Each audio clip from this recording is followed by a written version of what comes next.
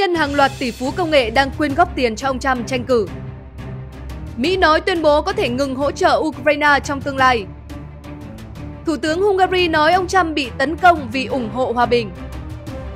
Nguyên nhân dinh thự của Tổng thống Putin được tăng cường Panzer S1. Xin kính chào quý vị khán giả. Bích Quân rất hân hạnh được gửi tới quý vị những thông tin nóng nhất, mới nhất mà chúng tôi vừa mới cập nhật. Mời quý vị khán giả cùng theo dõi những nội dung chi tiết ngay sau đây.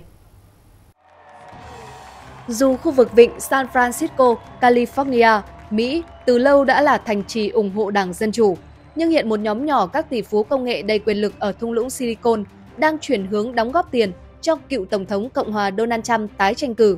Gần đây, tỷ phú công nghệ Elon Musk đã công khai ủng hộ ông Trump. Theo tạp chí Phố Quân, ông Musk đã cam kết quyên góp tới 1 tỷ đô la Mỹ cho một ủy ban hành động chính trị mới có tên America PAC, hậu thuẫn cựu Tổng thống.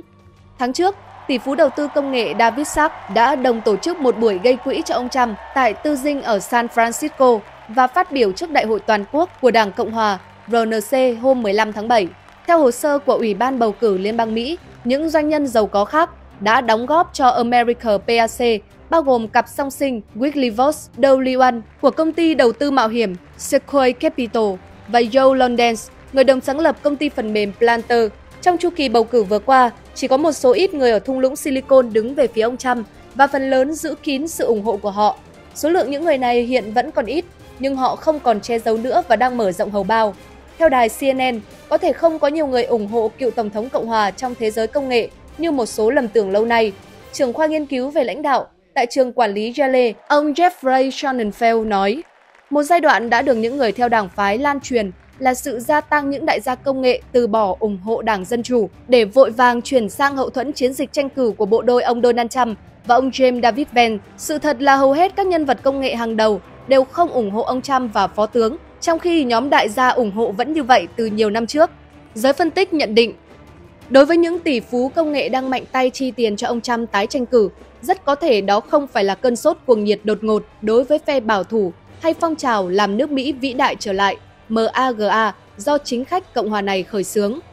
Giám đốc điều hành của Chamber of Progress, một nhóm chính sách công nghệ trung tả, ông Adam Kovacevic đã chỉ ra hai điểm gây khó khăn lớn nhất đối với giới công nghệ là việc chính quyền Tổng thống Joe Biden thực thi chiến dịch chống độc quyền và thái độ của họ đối với tiền điện tử. Ông Kovacevic bình luận, Tôi không nghĩ nó liên quan nhiều đến ông Trump. Tôi nghĩ họ có thể sẽ ở lại với ông Biden nếu họ cảm thấy nền kinh tế đổi mới được quan tâm và chú ý nhiều hơn. Nói cách khác, không phải các tỷ phú yêu thích ứng viên Tổng thống Trump, mà họ thực sự không thích Lina Khan, quan chức phụ trách chống độc quyền hàng đầu của Tổng thống Biden, và Gary Glancer, người được mệnh danh là cảnh sát phố Wall và không giấu giếm sự thiếu thiện cảm với tài sản kỹ thuật số. Trong những năm gần đây, bà Khan đã khởi xướng nhiều vụ kiện chống lại các ông lớn công nghệ như Amazon, Microsoft và Meta. Trong một cuộc phỏng vấn với CNN năm ngoái, quan chức này mô tả đây là một phần của chiến dịch rộng lớn hơn nhằm huy động nhiều nguồn lực của chính phủ hơn để giải quyết các vấn đề kinh tế hàng ngày của người dân Mỹ bình thường. Tuy nhiên, các quy định của chính phủ dù có chủ ý tốt đến đâu, hiếm khi khiến những người đang làm giàu từ hiện trạng vừa lòng. Theo một số hãng tin, hai trong số những nhà đầu tư mạo hiểm nổi tiếng nhất ở thung lũng Silicon là Mark Andreessen và Ben Horowitz đã cam kết quyên góp cho America PAC. Một nguồn thạo tin chia sẻ với tạp chí Financial Times rằng việc họ chuyển hướng sang ủng hộ ông Trump là vì có quá nhiều thứ bị đe dọa ở khía cạnh tiền điện tử và sự phát triển của trí tuệ nhân tạo. Người này quả quyết, điều đó không có nghĩa là ủng hộ quan điểm của ông Trump về vấn đề nhập cư. Trong quá khứ, cựu Tổng thống Donald Trump đã không thể hiện nhiều tình cảm với những người làm công nghệ, chủ sở hữu của các công ty truyền thông xã hội bị ông từ lâu cáo buộc có thành kiến chống phe bảo thủ, đặc biệt sau khi một vài trong số họ đã ra lệnh đình chỉ tài khoản mạng xã hội của ông tiếp sau vụ những người biểu tình quá khích gây bạo loạn trên đồi Capitol nhằm đảo ngược kết quả bầu cử tổng thống năm 2020 vào ngày 6 tháng 1 năm 2021.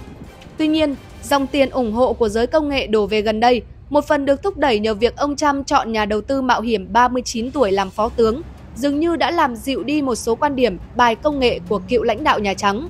Đến tận năm 2021, ông Trump vẫn gọi tiền kỹ thuật số Bitcoin là sự lừa đảo chống lại đồng đô la Mỹ.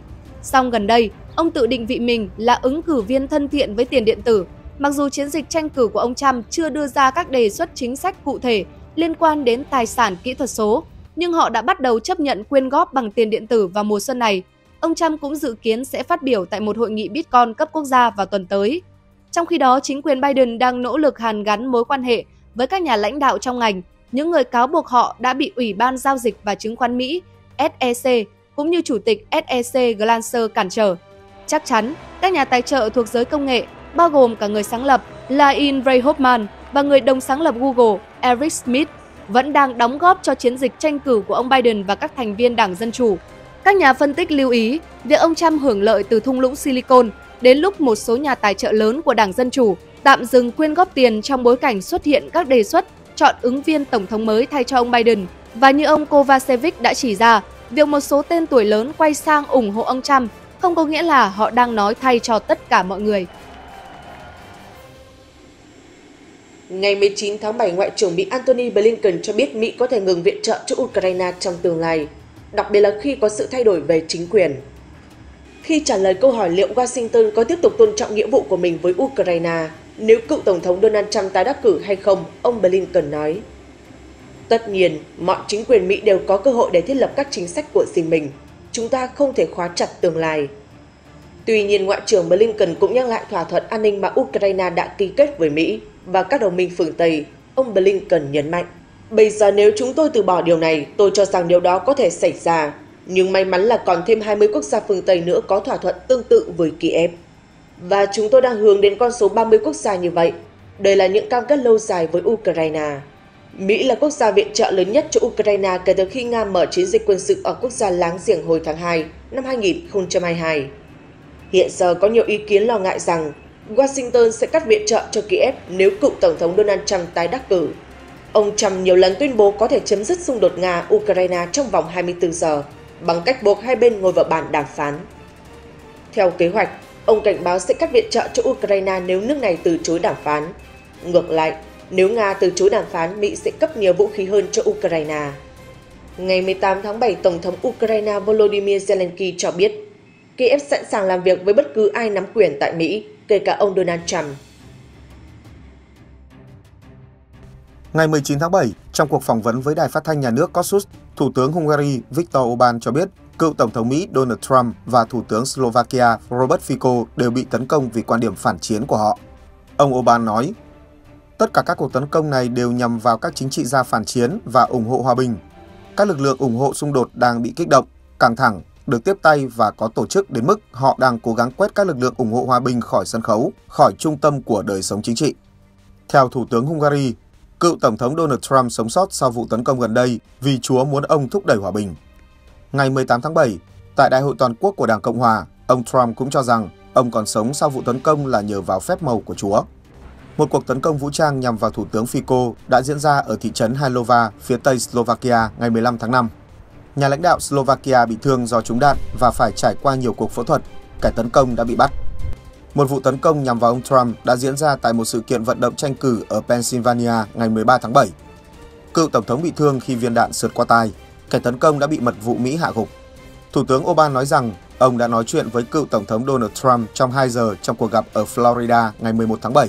Nhà lãnh đạo Hungary nói thêm, Chúng tôi có mối quan hệ rất tốt với những người làm việc phía sau cựu tổng thống trong việc soạn thảo các chương trình nghị sự về chính sách kinh tế và đối ngoại của ông ấy. Cuộc gặp của ông Orbán và ông Trump diễn ra ngay sau hội nghị thượng đỉnh NATO ở Washington khi các nhà lãnh đạo tập trung thảo luận về cuộc xung đột Ukraine.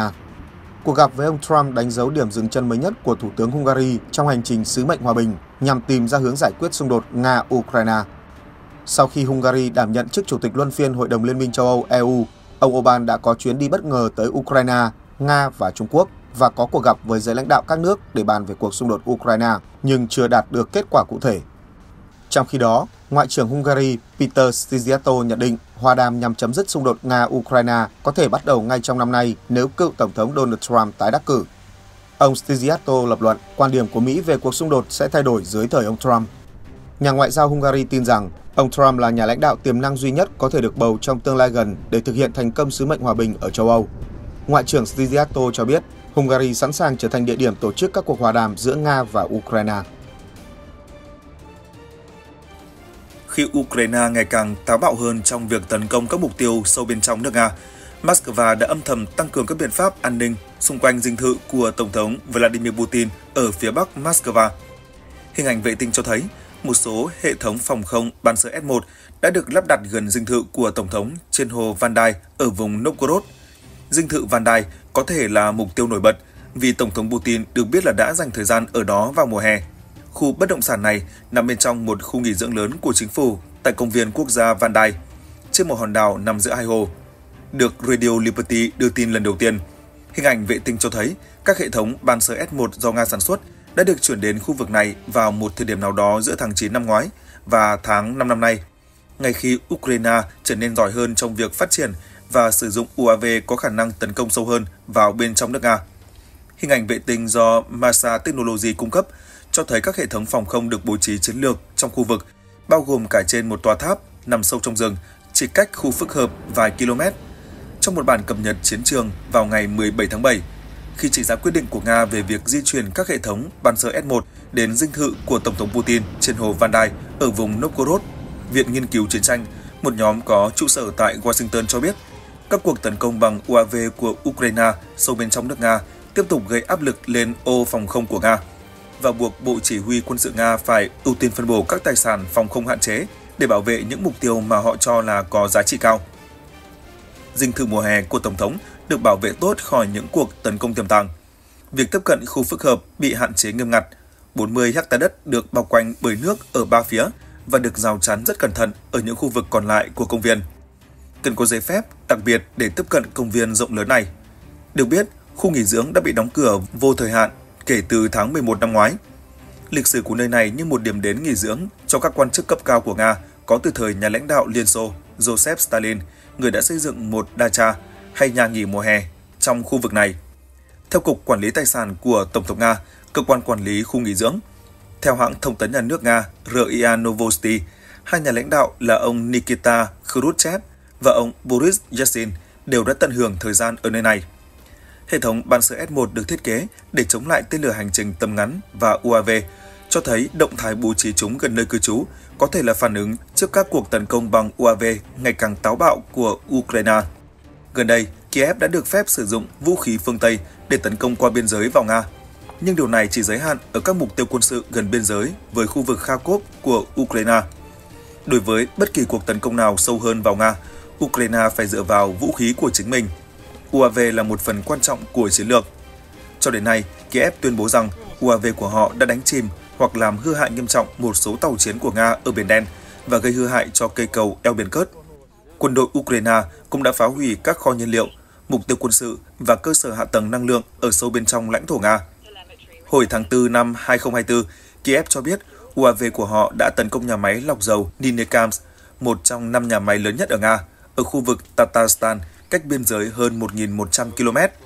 Tháng trước, quân đội Ukraine cho biết họ đã phá hủy một trong những máy bay chiến đấu mới nhất và tiên tiến nhất của Nga, máy bay chiến đấu Sukhoi Su-57, bằng một cuộc tấn công bằng UAV cách tiền tuyến gần 600 km.